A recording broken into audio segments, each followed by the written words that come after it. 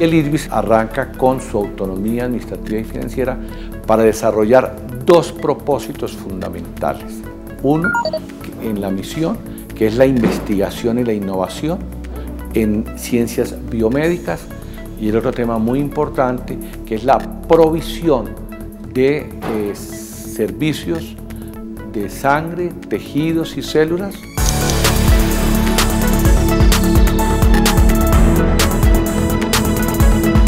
El primer reto y el más importante es poder brindarle a los pacientes sangre de cordón umbilical a través de los eh, trasplantólogos de las clínicas en Bogotá inicialmente,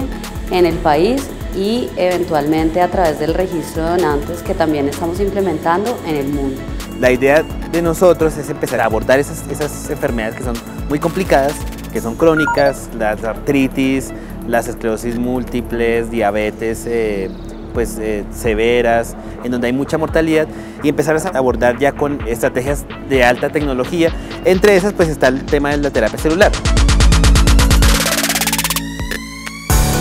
Esta administración, Bogotá Mejor para Todos, quiso que este nuevo instituto